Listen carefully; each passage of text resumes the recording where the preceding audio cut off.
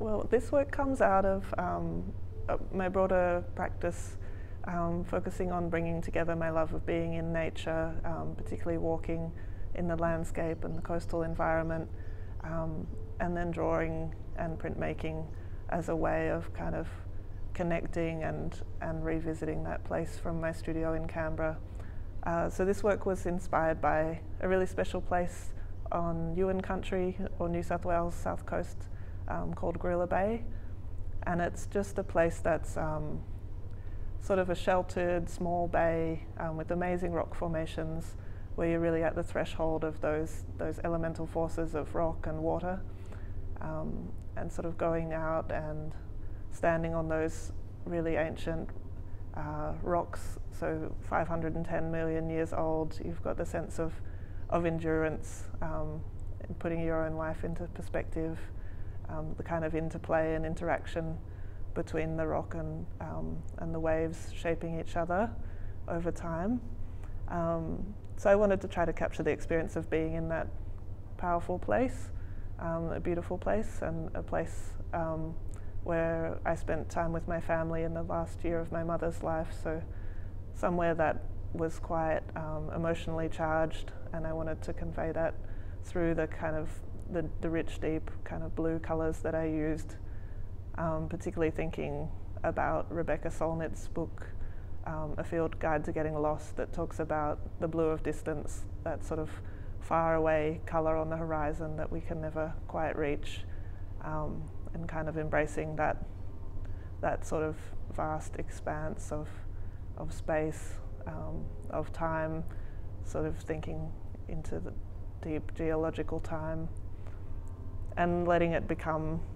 almost a, a third space that was, you know, somewhere in between the physical place and the emotional place, somewhere that I was recreating over months um, in my Canberra studio. So for me, this, this work's got some really strong personal connections, like in the particular place and the site that I chose as, as a place that's like a touchstone for me that I can revisit um, over time. But it's been amazing, you know, how many other people um, since exhibiting this work um, have approached me with, with their own connections and, and love of either this particular place of Guerilla Bay or that broader appreciation for, for the ocean, for the coast.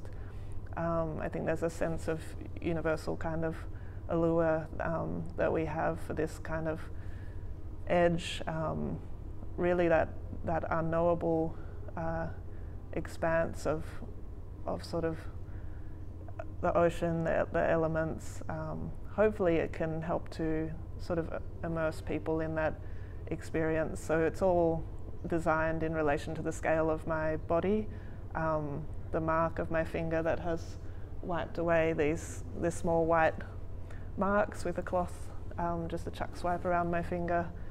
Uh, so I guess that sort of physical presence, but then also the large scale that will dwarf you if you're um, standing beside this work as uh, just, you know, a suggestion of, of how kind of dwarfed we can be when immersed in um, the natural environment. Uh, so I created this work um, using a watercolor monotype process. So it's a very simple printmaking process where I'm essentially painting watercolor onto a plastic um, printing plate and then I'll soak the paper. So in this case I've used nine separate sheets of paper to achieve a, a work of this size. Um, I've soaked them and then I'll put them through an etching press. So the combination of the sort of strong pressure of the etching press and the damp paper lifts the watercolor off the plastic plate and transfers it to the paper. Um, so it's a process where you just get one print. Sometimes there's also a ghost, which has like a bit of faded residual ink